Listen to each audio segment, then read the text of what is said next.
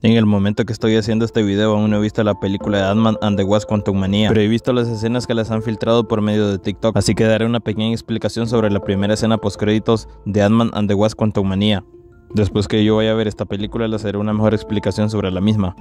Y por problemas de derechos de autor no les dejaré las escenas completas en este video.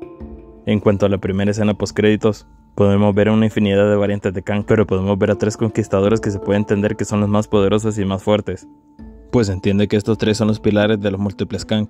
Además de esto podemos ver un tipo de coliseo, que varios Kang de diferentes líneas del tiempo llegan a este mismo. Pues en esta escena se ve que llegan uno tras otro, a lo que da a entender que la sagrada línea del tiempo está muy devastada.